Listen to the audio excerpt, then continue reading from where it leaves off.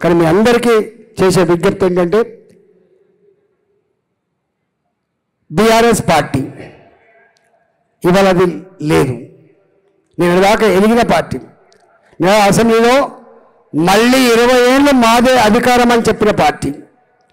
అసెంబ్లీలో మాట్లాడితే మాలాంటి వాళ్ళు ఏదైనా ప్రశ్న వేస్తే మా గొంతులు నొక్కి మమ్మల్ని బయటికి పంపించిన పార్టీ. అన్నిట్లో నంబర్ వన్ నంబర్ వన్ అని చెప్పి రెండు గంటల ఉపన్యాసం ఇచ్చి మనల్ని అదరగొట్టిన పార్టీ. ఇవాళ దాని మీద పోటీ చేయడానికి కూడా ఎవరు సిద్ధంగా లేరు.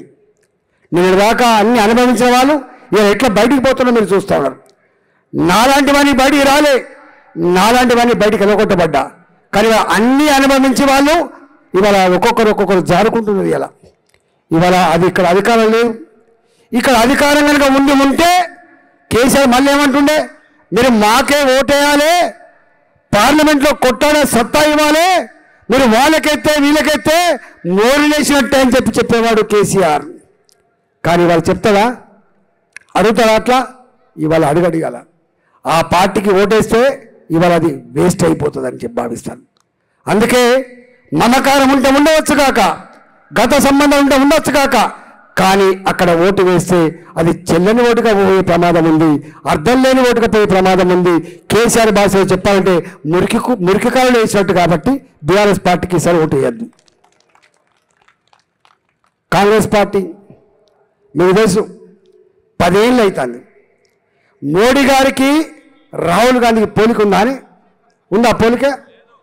నక్కకు నాగలోకు అనుకున్నంత తేడా.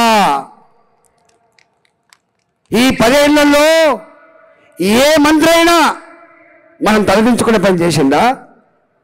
ఏ ఐఏఎస్ ఆఫీసర్ అయినా జైలుకు పోయిందా?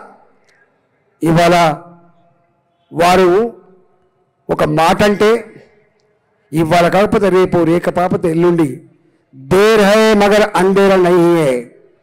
మోడీ గారి ఆ- ఆయంలో ఆలస్యం అవుతుండొచ్చు కానీ చెప్పిన మాట అమలు చేసే వ్యక్తి నరేంద్ర మోడీ గారు గుర్తుపెట్టుకోండి. ఇవాళ కాంగ్రెస్ పార్టీ ఏమంటానైనా నేను ఇచ్చిన హామీలన్నీ అమలు కావాలంటే పదిహేడు పదిహేడు సీట్లు గెలిపించమని కోరుతాను. ఏం చేస్తారు పదిహేడు సీట్లు గెలిపిస్తే? పార్లమెంటుకు పోతారు. ఏం చేస్తారు వీళ్ళు పార్లమెంట్కి పోయి? ఆనాడు నన్ను అన్నారు రాజశేఖర రెడ్డి పట్టుమని పది సీటు గెలవే కదా రాజేంద్ర అని. ఇవాళ నేను అడుగుతున్నా నేను అడుగుతున్నా కాదు పార్టీ ఎంతమంది గెలుస్తారు మీరు అక్కడ? ఎంతమంది పార్లమెంట్కి పోతారు మీరు? మీరు ఏం కొట్లాడతారు మీరు? కానీ రేపు భారతదేశంలో ప్రభుత్వాన్ని ఏర్పరిచే నరేంద్ర మోడీ గారు. రేపు అవసరమైతే మొన్న సంగారెడ్డి సభలో ప్రకటించబడిండు అధికారం ఇవ్వకపోయినా బ్రహ్మాండమైన అభివృద్ధి చేయగలిగిన ఈ రాష్ట్రంలో రేపు మీరు అధికారం ఇస్తే దీనికంటే డబుల్ అభివృద్ధి చేసి చూపించే బాధ్యత నాది నన్ను ఆశ్రయించమని చెప్పండి మోడీ గారు. ఇవాళ మనం నడుస్తున్న ఈ రోడ్డు కేంద్ర ప్రభుత్వం. అటు పక్కకున్న రోడ్డు వరంగల్ రోడ్డు కేంద్ర ప్రభుత్వం. అటు పక్కకున్న విజయవాడ రోడ్డు కేంద్ర ప్రభుత్వం.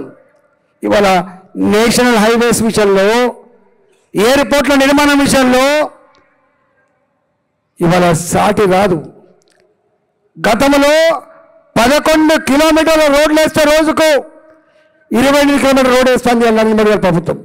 అందుకే ఇలా ఈ ప్రభుత్వం ఈ ప్రభుత్వం ఇవాళ దీన్ని ఎదుర్కోగలిగే సత్తా కాంగ్రెస్ పార్టీకి ఉందా? ఈయన ఆరు గ్యారెంటీ పెట్టా అరవై ఆరు హామీలు ఇచ్చాడు.